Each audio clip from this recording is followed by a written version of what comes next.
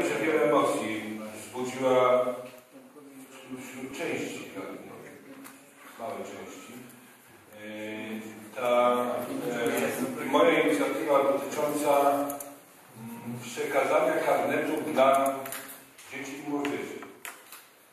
Yy, Jestem przekonany, że gmina, na mój wniosek, że burmistrz postąpił słusznie. Pierwszy raz udostępniliśmy młodzieży nieodpłatnie, tak że młodzież nie była obciążona kosztami, możliwość w wakacji korzystania z basenu. Słyszeliśmy. Panie burmistrzu, to nie jest tak, że emocje budzi rozdanie karnetów. Emocje budzi to, że pan, że pan i podlegający panu urzędnicy mówili nieprawdę na sesji 28 czerwca. 28 czerwca panu podlegli urzędnicy, najbliżsi panu urzędnicy, mówili, że przekazujemy kwotę 300 tysięcy złotych. Cytat dosłowny. E, Paragraf e, 3300, kwota 300 tysięcy złotych przeniesiona, przeniesienie środków z przeznaczeniem na zakup karnetów na basen dla dzieci w okresie wakacji. 28 e, czerwca. Pan mówi, jest to program, projekt, który jest skierowany w stronę dzieci. W trudnej sytuacji gospodarczej, w jakiej jesteśmy, chcemy, żeby nasze dzieciaki mogły korzystać również z obiektów gminy. Po czym, po czym się okazało kilka dni temu na Komisji Budżetu, Nieprawda. Pan się też pogubił. Ja rozumiem, bo jak się, bo jak się mówi nieprawdę, to często się myli. To później można się w tych, tych nieprawdach zaplątać. Nie. E, Ja do, dokończę swoją wypowiedź. Dwa dni temu na, na komisji dowiedzieliśmy się, że Pan, mówiąc nam te słowa 28 e, czerwca, dwa dni wcześniej dokonał zmian w budżecie gminy swoimi zarządzeniami i Pan sfinansował zakup tych karnetów z pieniędzy zapisanych w dziale oświaty. Czyli dwa dni później Pan, mówiąc delikatnie, nabierał radnych, mówił radnym nieprawdę, potwierdzał nieprawdę wyrażaną również przez, przez Pana urzędników. Jak my mamy potraktować wiarygodność tych danych, które dziś dostarczył, czy kilka dni temu dostarczył prezes Jaroszyn Irek, kilka dni temu prezes Jaroszyn Sport jako wiarygodne. Kilka dni temu na komisji dowiedzieliśmy się, że spółka Jaroszyn Sport miała przychód z, z basenów odkrytych. Panie radny, mogę prosić o nieprzeszkadzanie? że spółka Jaroczyn Sport miała przychód z basenów odkrytych w kwocie 187 tysięcy złotych między styczniem a lipcem. Z czego w lipcu 47 tysięcy złotych. I to jest prawda. 47 tysięcy złotych. Czyli w pierwszym półroczu miała przychód z, z tytułu e, użytkowania basenów odkrytych na kwotę 140 tysięcy złotych. Tylko że, tylko, że te baseny odkryte były, jak się dowiedzieliśmy, czynne od 28 czerwca. No i zgadza się.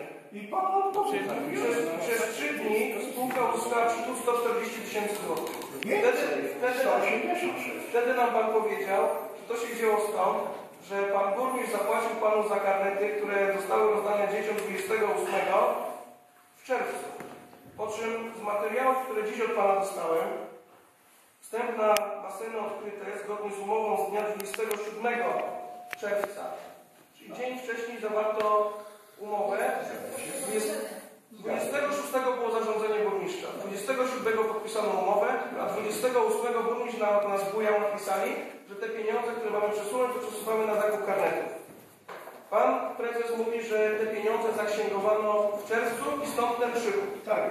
No ale dziś Pan mi dostarczył kserokopię faktury wystawionej 5 lipca 5 lipca 2013 roku z terminem płatności... Też się zgadza. Termin wystawienia faktury nie jest e, jednoznaczny z zaksięgowaniem. Ja miałem podpisaną umowę 27 i na moje polecenie ta suma została zaksięgowana.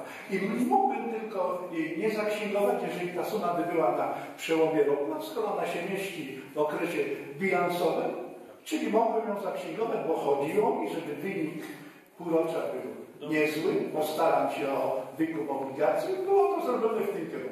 I zakup był już zrobiony, a że dzieci chodzą, no to... Ale ja mówię o kwestii, ja mówię o kwestii prawdomówności i tak naprawdę próbuję dojść, co jest prawdą, a co jest tak naprawdę kłamstwem. w tym wszystkim, bo, bo Dla przepływu pieniędzy nie ma znaczenia y, w stosunku księgowym, bo ważny jest dzień zaksięgowania. Ale na, po, na poprzedniej komisji, na tej komisji dwa dni temu słyszeliśmy, że płatność nastąpiła do końca czerwca. Pośród dokumentu, który dziś mam przed sobą, wynika, że faktura została wystawiona dopiero 5 lipca. No tu się nic nie zgadza. I tak może być.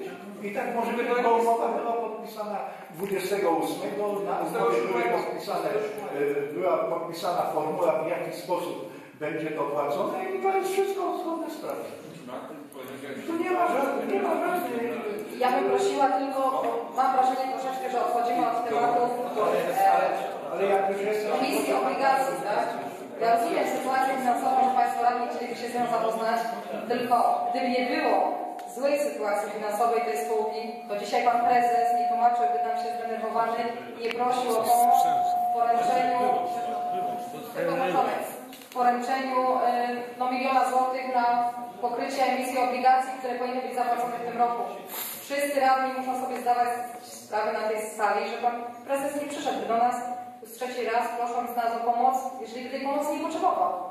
A to, że nawet Pan Burmistrz w formie karnetu wykupił usługę, która miała służyć dzieciom i młodzieży, to dla mnie, tak jak Pan radny mówi, te mechanizmy może, jak to zostało no wszystko zrobione, mechanizmy finansowe, to moglibyśmy skierować z wnioskiem tutaj bardziej pod komisję rewizyjną ewentualnie, czy, czy tutaj nie ma jakiejś nieprawidłowości, ale nie przy tym punkcie dotyczącym emisji obligacji.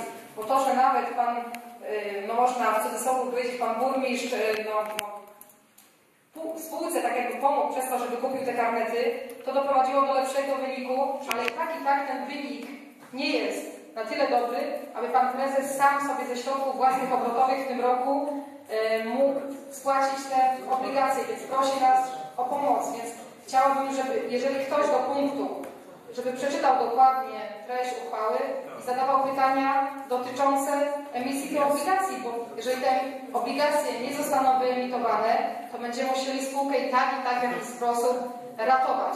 Bo mam czasami wrażenie, jak mówimy o spółkach, jakby to były spółki całkowicie prywatne, bo nawet jeżeli burmistrz z gminy pieniędzy przekazał coś do spółki i poszło to na karnety, no to tak, przekazał te środki do spółki nieprywatnej. Tu bym miała wielkie zastrzeżenia i bym skierowała to na komisję rewizyjną, ale do naszej spółki.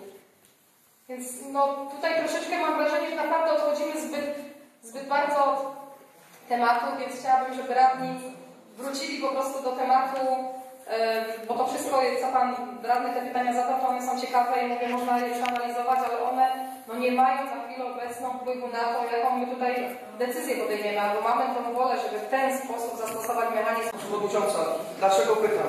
Pan prezes dostarczył nam wyniki spółki. Dostarczył nam wyniki spółki. Dostarczył nam tabele, które miały nas przekonać do, do podjęcia tej decyzji. A te tabele no, budzą wątpliwość. Tak samo no, dziś wiemy, że byliśmy dwa miesiące temu na tej sali okłamani. Pani Przewodnicząca, mogę? Jesteśmy okłamani. Mogę? E, te dane, które, które dostajemy kilka dni temu, dwa dni temu, czy, czy wczoraj usłyszeliśmy, że podobno w jednej ze spółek stosowano kreatywną księgowość. No to, no to z czym mamy do czynienia w, w, w tym przypadku? Problem. Pytanie mam do pani skarbnik, do pana burmistrza jednego lub drugiego. Mianowicie, czy jeżeli my dziś podejmiemy decyzję, że nie poręczymy jako gmina tego miliona złotych, to w gminie mamy pieniążki, żeby dodatkowe e, pieniążki, żeby pomóc panu e, Mazurkowi. I zaraz będę miała następne pytanie. Szanowni Państwo, w budżecie gminy były takie środki, to dzisiaj tego tematu nie byłoby poruszane na sesji Rady Miejskiej. Pani e, skarbnikowana w takim razie, które, jeżeli dziś nie przejdzie, bo może nie przejdzie, które inwestycje zaplanowane zostały by skreślone. Ja mam zapytanie Pani, Szanowna Pani Przewodnicząca. No trudno powiedzieć. No, yy, postawiłoby to gminę w naprawdę trudnej sytuacji. Ja nie wiem, no, to, rozwijał w kontekście. Natomiast, natomiast y, ja sobie nie wyobrażam, Szanowni Państwo, żeby, nie- żebyście nie podjęli tutaj pozytywnego rozstrzygnięcia z prostej przyczyny. Spółka dodatkowo się nie zadłuża. Na emisję miliona złotych tych dodatkowych obligacji wykorzysta na wcześniejszą spłatę.